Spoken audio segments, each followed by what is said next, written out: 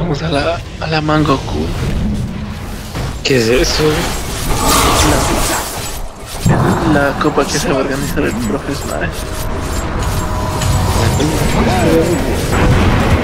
Así se llama. ¿Qué son dónde es? Es en línea.